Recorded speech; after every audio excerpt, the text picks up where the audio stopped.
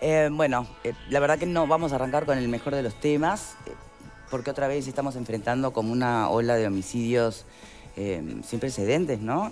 Estamos hablando de ocho prácticamente.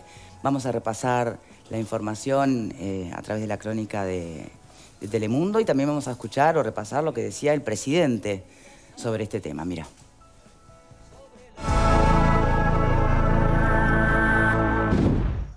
Me habrán escuchado decir en, meses donde los homicidios habían bajado sensiblemente, que obviamente no estábamos conformes y estábamos preocupados.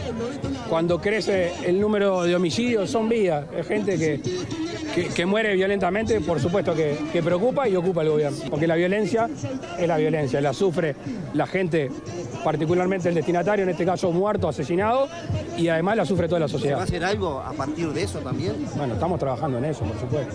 Tenemos récord, récord de incautación de droga en el país. Tenemos récord de cierre de boca de pasta base. Tenemos récord de incautación de bienes y dinero. Tenemos récord de indagado por delito de narcotráfico.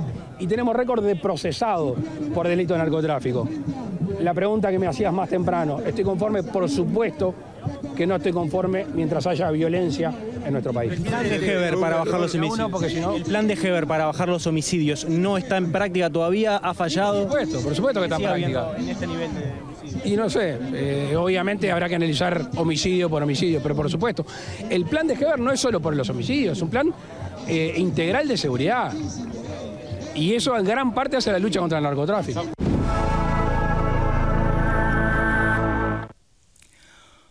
Bueno, muy bien. Un plan que tal como dice el presidente, em, él entiende que es correcta o que está de acuerdo con la forma en que se está combatiendo concretamente el narcotráfico y la delincuencia o la delincuencia vinculada al narcotráfico, porque recordemos que si hablamos de seguridad o inseguridad en general, hay números de otro tipo de delitos que van bien. Lo que nos estamos enfrentando seriamente es a los homicidios. Y siguiendo la línea de lo que decía el propio presidente, no es respuesta ni conforma que se trate de mayormente asesinatos o homicidios que tienen que ver con el mundo del narcotráfico o gente con antecedentes y demás. Porque si no estamos en la lógica que se pretendía usar eh, antes, ¿no? Cuando criticábamos que se decía, este, pero bueno, si, no, si vos no estás en nada raro no te va a pasar nada. Bueno, no, no hay muertes clase A o clase B y hubo ocho, ocho. Y además no solo estamos hablando de narcotráfico y de em, ajustes de cuentas, femicidios.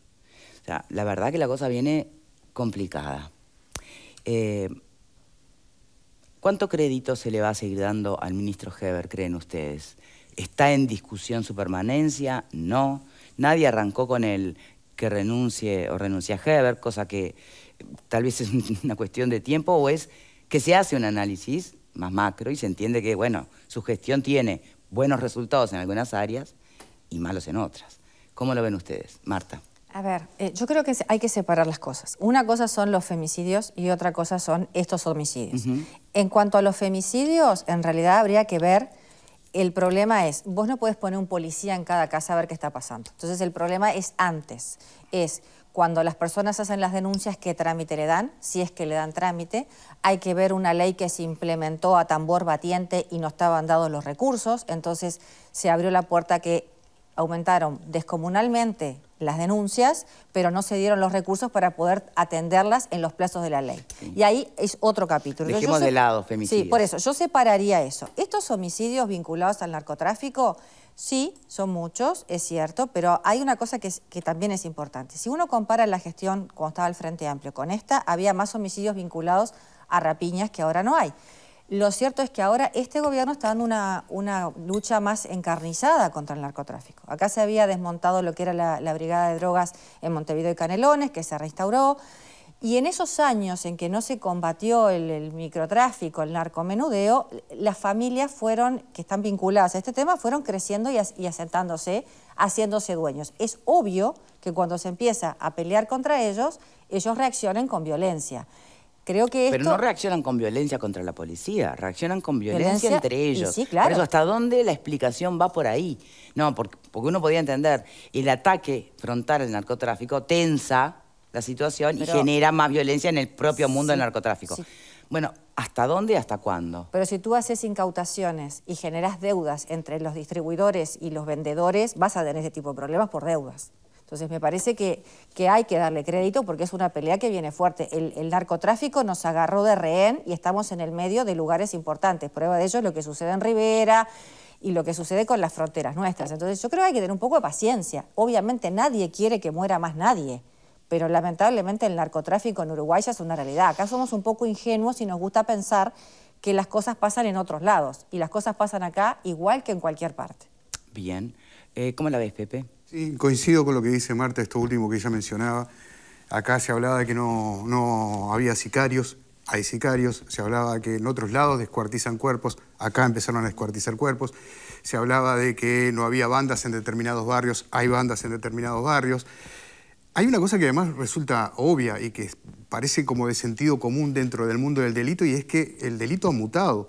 ¿Qué sentido tiene para un delincuente comprometerse seriamente con un robo por el cual puede llegar a, resultar detenido por un botín bastante magro, comparado con trabajar el narcomenudeo o el microtráfico, donde saca mucho más dinero y difícilmente lo agarren. Entonces eh, también el delito ha mutado. Entonces hay que tener en cuenta eso. Lo que estamos siendo es un poco ingenuos en pensar que teníamos una barrera sanitaria por la cual a este país las cosas que llegaban a todas partes del mundo acá no iban a venir. Lamentablemente tengo una mala noticia, sí van a venir. La buena noticia es que todavía tenemos tiempo porque el diario del lunes sigue estando alejado. Pero vamos derecho a que pase lo que está pasando en otras partes. Y cuando digo lo que está pasando en otras partes, estoy poniendo un punto de atención en los asistentes de la, de la justicia, en los eh, principales actores de la justicia, en los políticos, en los periodistas. Va a pasar. Más tarde o más temprano va a pasar. Tenemos la oportunidad hoy de trabajar. Si sabemos que en un radio de dos kilómetros ocurrieron cuatro homicidios, bueno, sin ser experto en el tema, me parece que hay que trabajar en ese radio, ¿no?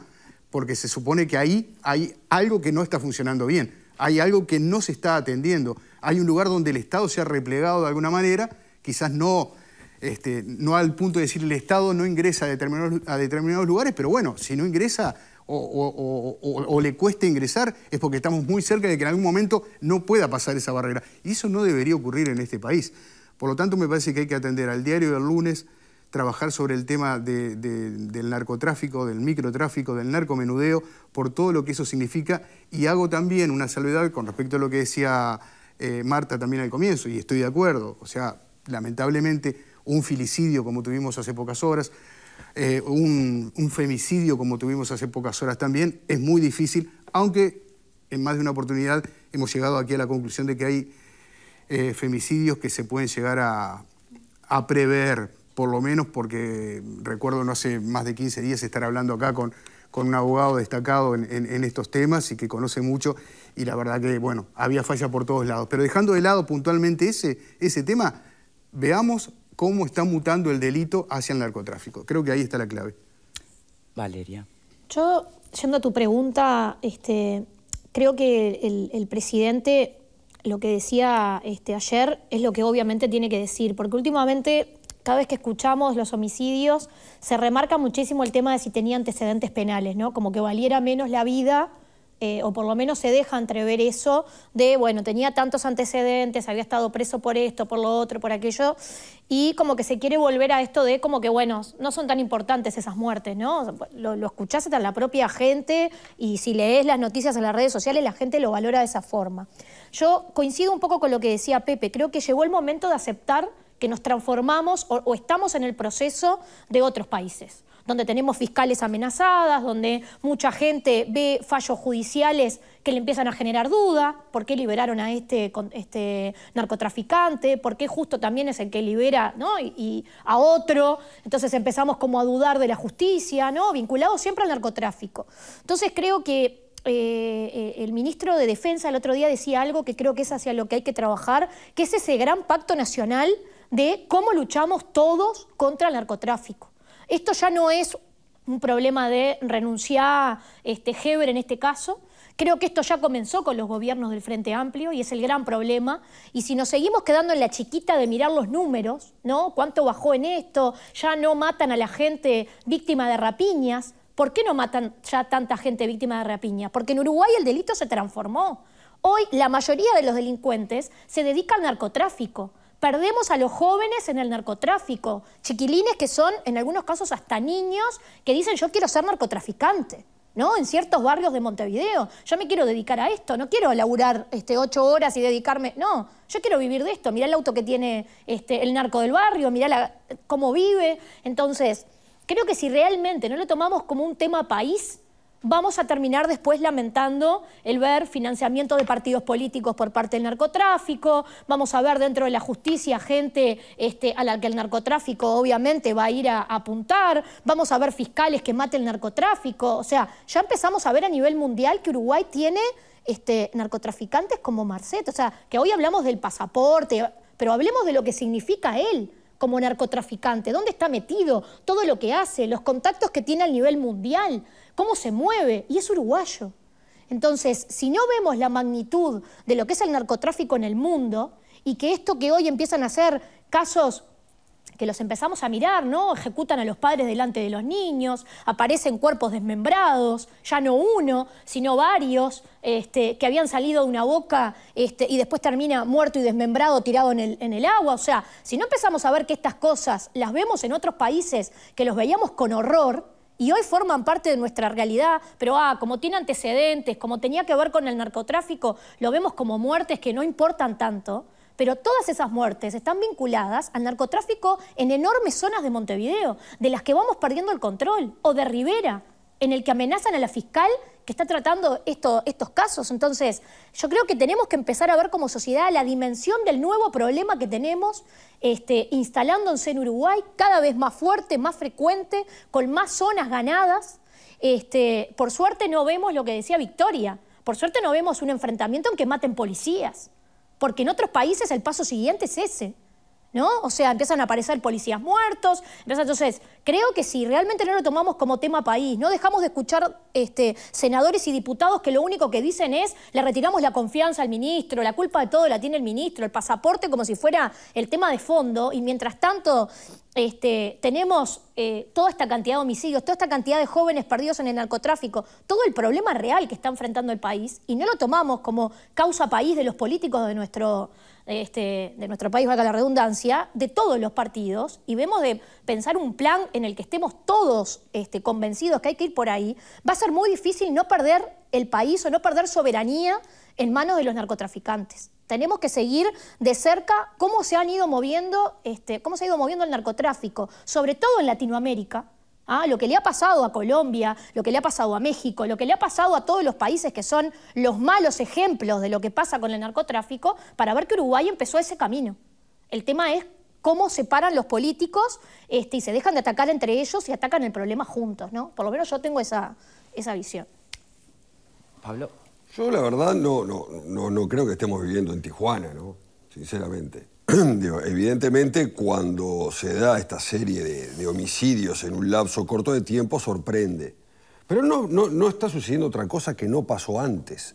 Quizás ahora tiene un poco más de. se, visualiza un poco más o se hace hincapié un poco más en este tipo de situaciones cuando vos preguntabas hoy si tiene o no respaldo el, ministro, lógicamente la oposición no lo, no lo va a tener con la oposición, sí lo va a tener con... ya explícitamente le quitaron la confianza, ¿no? Por otro tema, pero bueno... Mm. Pero le, quitaron la confianza a la semana de que asumieron, o sea que eso no, la verdad, o sea, asumieron y ya le quitaron la confianza y no sabía ni quién era. O sea que por ese lado no, no me sorprende. Pero yo lo que tendría que evaluar serían los números, los números. Entonces, si yo hago la comparación solo de, los números que tenemos del 2021 el 20, porque todavía no están los del 22, simplemente en el, observatorio del Ministerio del Interior indica que todos los delitos han bajado. Y esa es una realidad incontrastable. En pandemia. Bueno, no, no, del, del 20 al 21 bajaron, pero puedo ir más atrás también bueno, pero por eso yo hacía referencia a que la gestión va más allá de los homicidios. En el análisis hay que contemplar las dos porque, cosas. Porque vos en materia de seguridad, vos tenés que verlo a nivel macro. Claro, pero... Global. Si vos me decís, bajamos eh, los homicidios un 11,2%, las rapiñas un 13,5%, el abigeato un 39,2%. Lo que no bajó y sí preocupa es la violencia doméstica sino que creció un 0,6. Y lamentablemente, lamentablemente, estamos viendo hechos de estas características, como el femicidio, el felicidio que sucedió ahí, que es un hecho abominable, muy seguido, muy seguido. Y ahí yo creo que es donde está fallando el Ministerio del Interior. porque como bien decía Pepe, y lo comparto completamente, este tipo de femicidios, algunos de ellos, eh, lógicamente no se puede tener un policía en la casa, pero se pueden evitar con algunas señales que se tomen a tiempo. En este caso en particular había una denuncia ya del 2014. Era vieja, sí, lógicamente, pero existía. Entonces, me parece que allí es donde el Ministerio del Interior está quedando rengo. Con lo otro... ¿No está quedando rengo con los homicidios? Yo creo que no. Yo ¿Ah, creo no? que no, porque, porque los números indican que Solo están homicidios, bajando. ¿eh? Solo Sí, los homicidios bajaron el año pasado con, con el periodo del 21 al 20, un 11,2. No es mucho, no, por supuesto que no es mucho. Pero digo, están bajando. Después, eh, que se quiera plantear una situación de que estamos poco menos como en el cártel de Cali y que están colgados de los, este, de- de los puentes las personas, como en Guadalajara. Bueno, no es tan así. La situación no es tan así. Porque vos tenés que fijarte en los números. Y los números no mienten. Después, ¿que ha crecido el narcotráfico en el mundo? Por supuesto que ha crecido. ¿Que ha crecido en el Uruguay? Por supuesto que ha crecido. Pero lo que hay que evaluar bien es si ese crecimiento del narcotráfico va en estrecha relación con los homicidios o no. Y yo creo que el narcotráfico ha crecido en Uruguay y en la región, pero por los números, los homicidios no han crecido. Lo que pasa es que si vamos a tomar esa relación y no la consideramos este, en forma directa, me parece que no solamente que estamos desconociendo un dato duro de la realidad, sino que estamos desconociendo la casuística que tenemos acá alrededor, en Argentina, en Brasil. O sea, no estoy hablando de Colombia, no estoy hablando de Cali, no estoy hablando de Tijuana, porque nunca dije que eso era lo que estábamos viviendo. Simplemente dije que si no prestábamos atención y trabajábamos, eso lo vamos a vivir dentro de poco tiempo. Pero ahora no. Ahora, no me digas que esa realidad de sicarios, de personas este, con tres disparos en la cabeza, con personas que son abatidas porque no pagan sus deudas con la droga, por personas que se quedaron con droga y no se la dieron o no la vendieron como tenían que venderla Pero, ¿sabe- y se la quedaron. Ese tipo de, ¿Sabe de hechos, pasa? Pablo, Que eso- a ver, eso, eso, ha venido en esto- aumento acá y en el mundo. Eso que vos me contás pasó toda la vida. Lo único que ahora este- se visualiza más, nada más. Eso que Se vos transformó decís, el delito, pasó Pablo, toda la vida, eso pasó toda la vida. Tenemos Lo que único hacer que ahora se visualiza un poco más.